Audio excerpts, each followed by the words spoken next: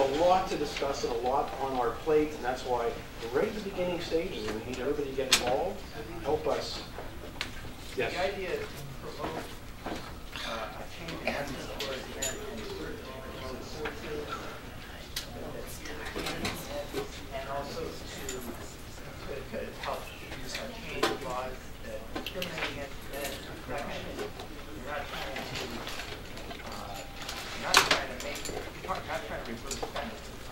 Well, no, I mean, look, the, the original point of feminism, when feminism first started, feminism was first started, it was all about equality.